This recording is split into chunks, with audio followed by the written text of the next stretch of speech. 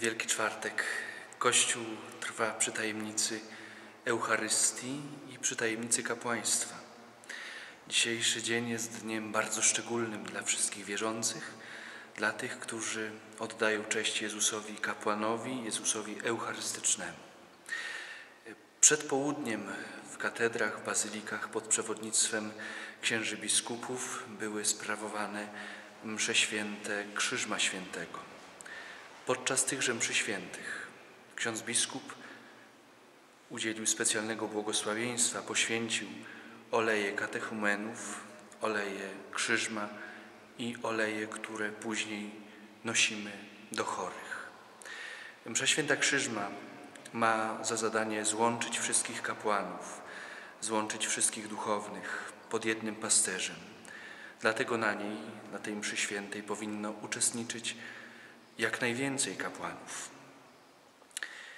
Wieczorami w naszych świątyniach sprawowana jest y, msza święta Wieczerzy Pańskiej. Jest to niesamowita Eucharystia. Każda Eucharystia jest cudowna, każda Eucharystia jest niesamowita.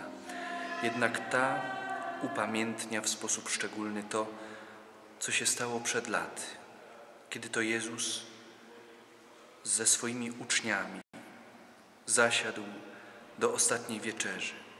Cóż robi Jezus podczas tej wieczerzy? Robi coś, co zaskakuje uczniów. Oto wstaje, przepasuje się prześcieradłem i zaczyna umywać nogi apostołom. Podczas tejże mszy świętej, tutaj w naszej świątyni, ale w wielu innych także świątyniach, kapłani zdejmą ornat, przepaszą się prześcieradłem i będą umywali nogi dwunastu mężczyznom. Niesamowity gest, gest pokory, gest uszanowania drugiego człowieka, gest służby drugiemu człowiekowi. Jeśli ja, Pan i nauczyciel, umyłem wam nogi, to i wy winniście sobie nawzajem nogi umywać. To się dzieje dzisiaj, tutaj i w wielu innych kościołach. Z pokorą kapłani myją nogi wiernym. Wielki Czwartek to dzień, jak już powiedziałem wcześniej, Eucharystii i kapłaństwa.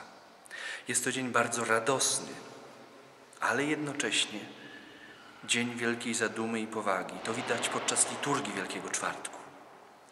Zwróćmy uwagę, że msza święta Wieczerzy, Wieczerzy Pańskiej rozpoczyna się bardzo radośnie, uroczystym wejściem, śpiewem, procesją. Do momentu chwała na wysokości Bogu jest wszystko radosne, pogodne. Uderzają dzwony, grają organy. Jednak później, kiedy kończy się hymn chwała na wysokości, organy milkną, dzwony przestają bić. Ta radość do momentu hymnu chwały to jest nasze wielkie dziękczynienie Jezusowi Chrystusowi za dar Eucharystii i za dar kapłaństwa. Ale później, kiedy kończy się liturgia, Najświętszy Sakrament jest przeniesiony do ołtarza wystawienia. Podczas procesji na zakończenie liturgii nie używamy dzwonków, są kołatki. Tak jak wówczas żołnierze prowadzili Jezusa Chrystusa do więzienia, do aresztu na całą noc. Więźniów prowadzono używając kołatek. Także podczas tej procesji używane są kołatki, aby jeszcze bardziej zaznaczyć, że ta noc, ten wieczór, jednocześnie pełen radości, jest wieczorem pełnym powagi. Chrystus zostaje odprowadzony do więzienia. Na zakończenie liturgii wierni wraz z kapłanami tutaj w naszej świątyni, ale w wielu także innych dzielą się chlebem na znak tej wielkiej łączności, na znak y, połączenia i jedności, wzajemnej miłości. Składamy sobie życzenia, ale jednocześnie w głębokiej zadumie trwamy później przy ołtarzu adoracji. Adorujemy Chrystusa, który dla nas się oddał całkowicie. Wielki Czwartek, dzień kapłaństwa, dzień Eucharystii, dzień wielkiego dziękczynienia, ale jednocześnie dzień wielkiej powagi.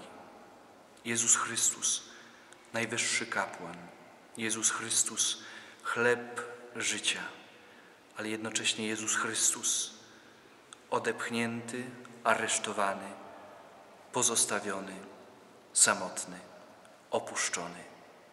On daje się nam cały w Eucharystii. Dlatego dzisiaj w Wielki Czwartek zechciejmy przy Nim w sposób szczególny trwać przy Jezusie Eucharystycznym, przy Jezusie Najwyższym Kapłanie, ale także przy Jezusie opuszczonym, zostawionym, osamotnionym.